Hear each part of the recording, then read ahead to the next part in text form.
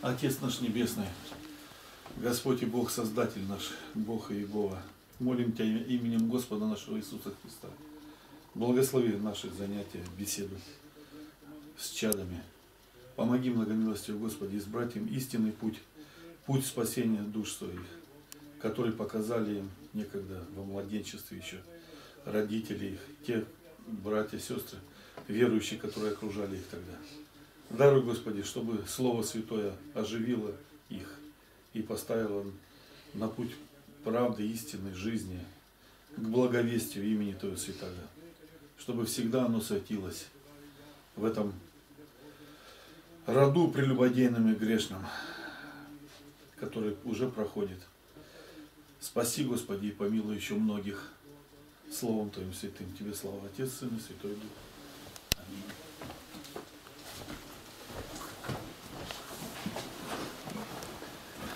Мир вам. Продолжаем. Сегодня вот Господь. Сегодня мы Ветхий Завет должны проходить. Ну, сегодня у нас, знаете, что прощенное воскресенье, да? Ну, там, говорят, э, традиция такая, друг другу прощают обиды, там все ходят, прощают. Это слышали об этом? Но это неправда полная. Никто никуда не ходит, нигде там не прощают. Ну, те, кто еще соприкасается с церковью, да, а так э, прощения нету ни у кого. В церкви-то у нас и то еще прощают так. Ну прости меня Христа ради. Даже тоном выдают. И имя Христово порочат еще во всем этом прощении. Прощение должно быть такое, как Господь сказал. Несешь ты в, э, в, это, к жертвеннику э, дар э, Господу. И вдруг вспомнил, что ближний имеет нечто на тебя ближний на тебя имеет нечто, ну какую-то обиду. Так ты оставь дар твой, вот где стоял, там и оставляй, не перед жертвенником еще. Ты до Бога не дошел еще. Иди, примирись с ним, с братом твоим. Примирись. А потом приди и принеси жертвенник Богу. То есть прощение обид намного дороже даже, чем принесение жертвы Богу. Вот мы сейчас здесь, братья стоят, молятся, приносят жертву Богу. Вы сейчас приносите жертву Богу. Мы приносим жертву общения. Жертву хвалу Богу приносим, безмолвную, безмолвную, молимся Ему. Есть словами, вот братья сейчас читают, это словесно, словами приносим жертву Богу. Молитвами, вот сейчас другие стоят, молятся. Это все жертва Богу приносится. И вдруг сейчас все это отставить и там что-то имею, пойди принести, принести по, примириться. Да, так он на меня что-то имеет, не я на него. Ну, значит, тем более, ты же узнал откуда-то, что он имеет на тебя. Ну да, он со мной там не разговаривает, или грубый там, или как там, еще что-нибудь такое. Надо, значит, узнать до конца, примириться. А как вот сейчас поступают э, родители, ну и старшие вообще все родственники с детьми? Сейчас вот скажу, и вы все скажете, так оно и есть. Там, у меня кто-то игрушку отобрал, что мне делать? Ну сразу первым делом, а ты что себя защитить не можешь? Кто это слышал? Слышали такое? Нужно, нужно обязательно защищать себя. Ты-то головой что трясешь-то, не слышал. Ты-то первый это слышал. С тобой же разговаривали об этом. А ты говоришь, не слышал. Как же не слышал? Защитить себя надо, отобрать обратно игрушку. А так, если ты в мир попадешь, так тогда любой обижать будет. А как же Христос говорит, прощайте. Молитва «Отче нас, наш» делится на э, различные места. Не просто говорится «Отче наш» и все. Там же многое говорится, что «Отче наш, который живущий на небесах» и так далее. И дальше проходит. «И прости нам долги наши, как и мы прощаем всякому должнику нашему». А потом говорится «Не веди на свои искушения». Вот сейчас пост наступает великий. И Господь так сделал, что перед постом у нас идет прощенное воскресенье. То есть действительно каждый должен простить брату своему попросить прощения, если обидел. Ну только не так, что окажется, обидел я или не обидел, нужно точно знать самому. Для этого нужно себя исследовать. Что для этого нужно, для исследования? Нужна вера. вера в Господа. Потому что не мы прощаем только, а здесь участвует сам Господь. Он нас к этому подвиг. Он нас подвиг своими молитвами, которые, э, как пример показал нам, своей жизнью. Для этого мы должны знать и Священное Писание. Должны уметь молиться. Должны знать, как себя правильно вести в церкви уже здесь. Как, э, вот, как этому учат ну, в других заведениях? В школе, допустим, или где? Ну, там поч, почтение учат, что нужно почитать, уважать там, старших и так далее. Но старшие себя иной раз ведут не так, как нужно. Они не могут показать примеры. Почему? Потому что они в основном неверующие. И поэтому, когда вы попадаете в школы, то там с вами делают не то, что бы мы хотели увидеть, конечно же. Вот у вас там происходит, допустим, уроки, где начинают говорить о сотворении человека, как он произошел, и всегда говорят не то, что надо. То инопланетное происхождение втюхивают в голову вам, то Дарвина этого, который из обезьяны там, обезьяна начала вдруг работать и стала человеком. Это вообще восхитительно. Что-то ни одной обезьяны еще не увидели, кроме как она только бананы может лупить. Чтобы хоть палец о палец ударилась, поработала чем-нибудь. Но бывает бананы, они смешные обезьяны, там царапаются, блох там выискивают. Но не более того. Ну как можно продолжать-то утверждать это? Ну, и главное детям, которые имеют чистый разум. Это все у них на сердце откладывается. Это же первая ступенька э, веры в Бога. Вот это никогда нельзя уступать. Сейчас с платками началось это решение. Кто из вас в школе ходит с платками? Ну и сейчас вот лес рук, я бы сказал, как так? А нельзя, оказывается, ходить с платками. Закон вышел, полностью запретили. Вот до чего дошло. А у нас Лена, помню, она э, на занятиях физкультуры, они там в штанах ходят и знаешь, таких обтягивающих, длинных, как шорты. Это и она, лосины.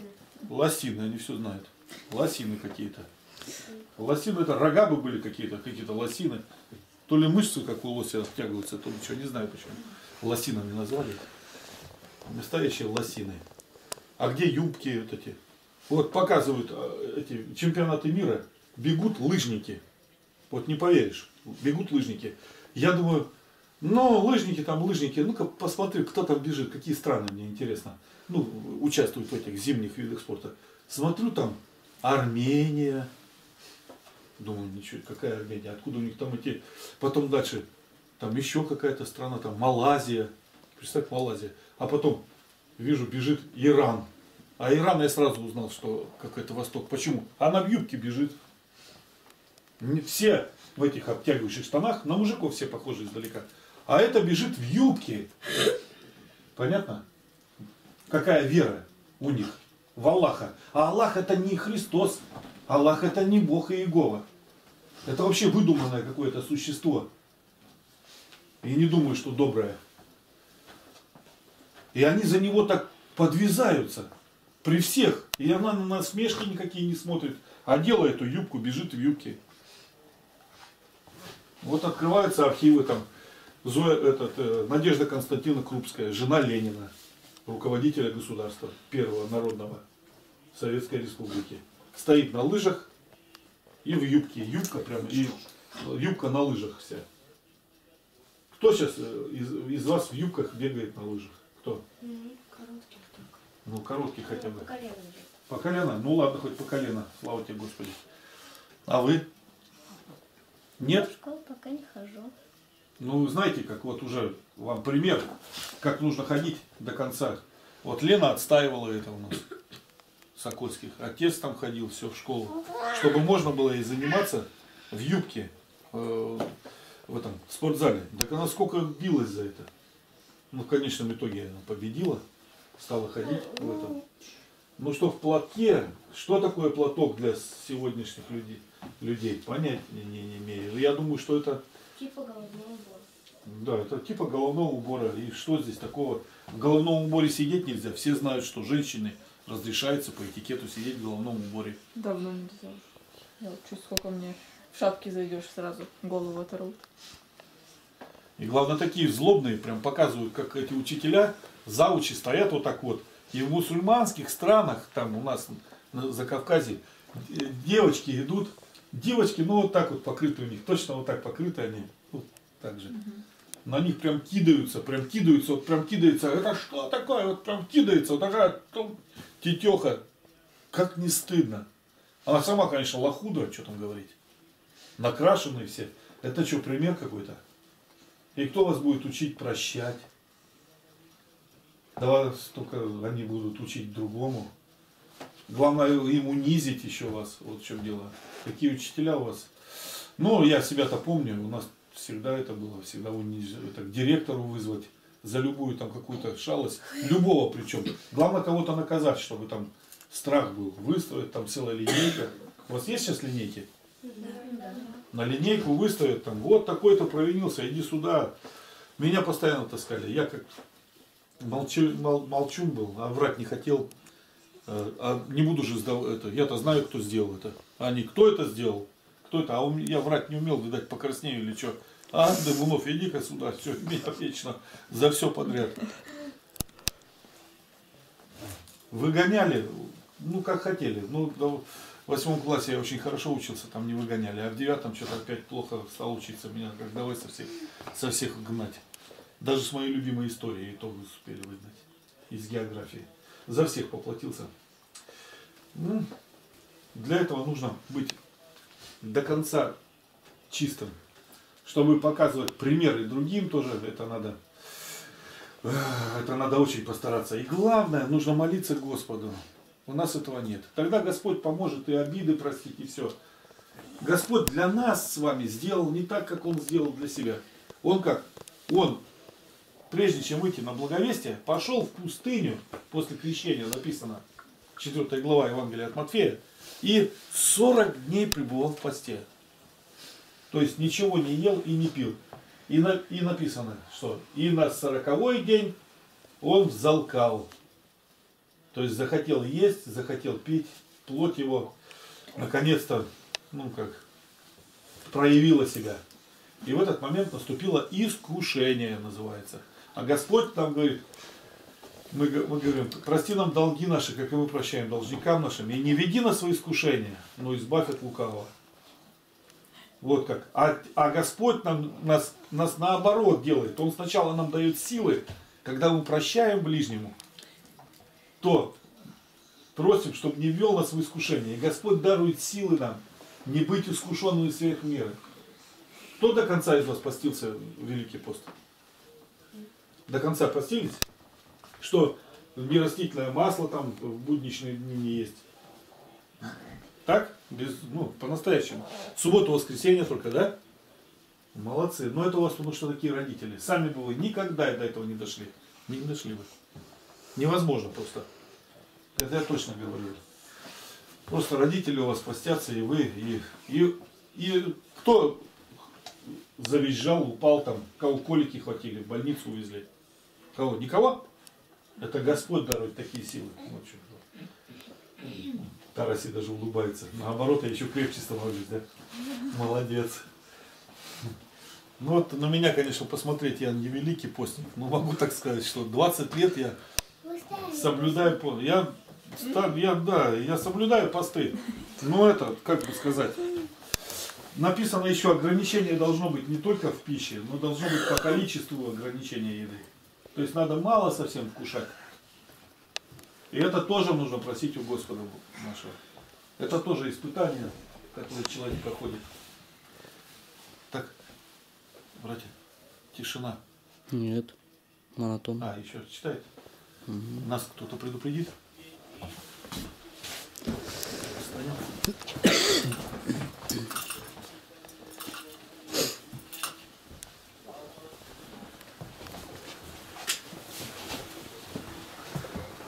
Брат, разреши маленькое слово Да, сказать? да, говорите, хорошо. Так, Вы сегодня у нас прощенное воскресенье. Вот сейчас вам как раз это и надо вложить. Кого чем обидели, попросите прощения. Искренне припомните. И простите. Бывает между родителями, детьми что-то неладно, друг другом.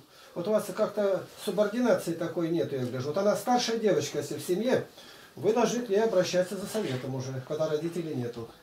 Кто старше? Инафа. Вот робот. Но у Инафа есть Ваня, брат.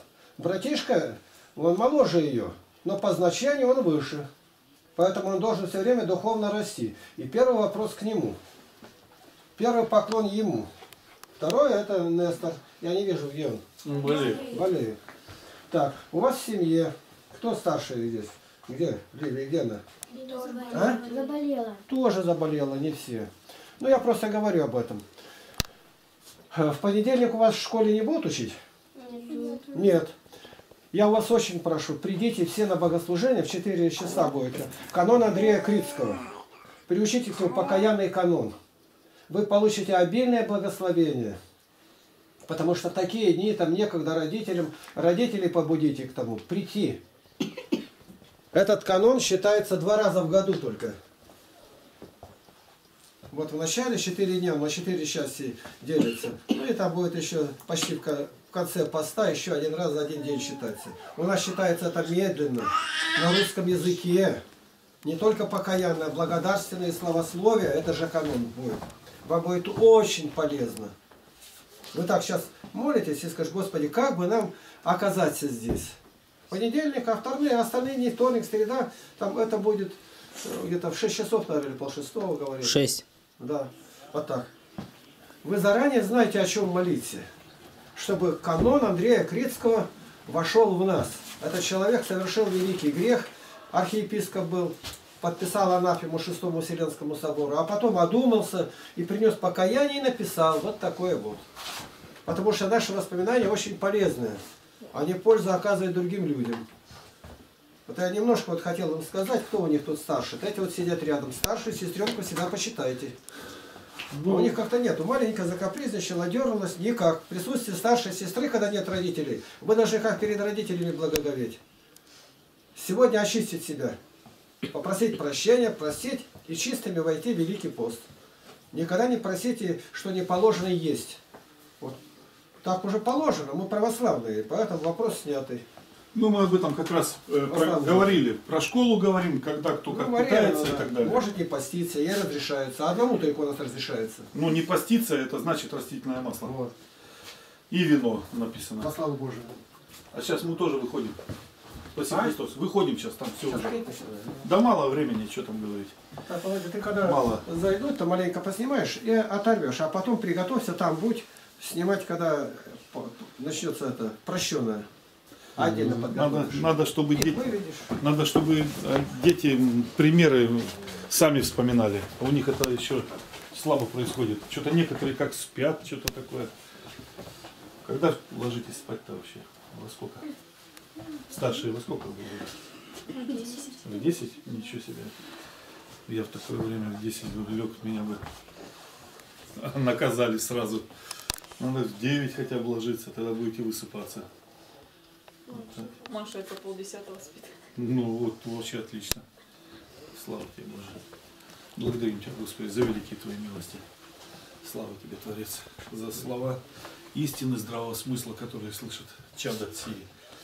Даруй, Господи, чтобы это уразумели они сердцем и через руки пришло к ним, пришла к ним свобода в Тебе, Господи, Творце, чтобы они поняли, какие были у них учителя, какие друзья и братья. И нас, Господи, спаси и помилуй. Даруй, Господи, всех сохрани здесь, кто находится в этом помещении, далеко, братьев наших, искренне верующих, священном начале, митрополита Лариона, епископа Евтихия. Батюшке Акиму, помоги сейчас в трудах молитвенных. Тебе слава за все, Отец и на Святой Дух. Аминь. Ну, с миром Божьим. Сейчас. О,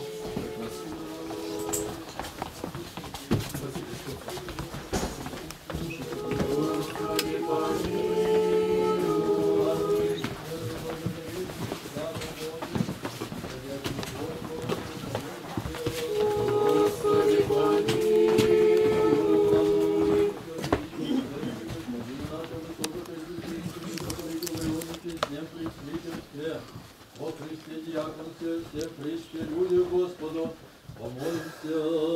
Господи, помилуй.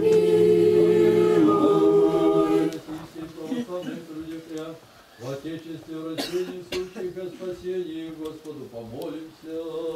Господи, помилуй.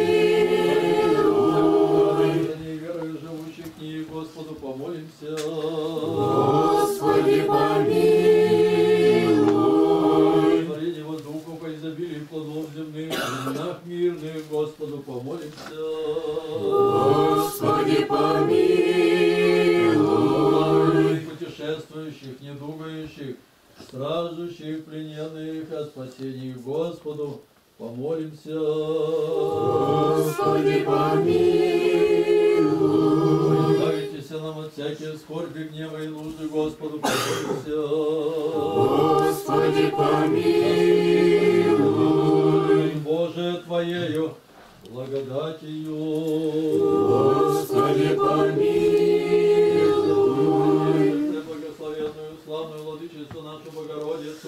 Daniel Romarinho.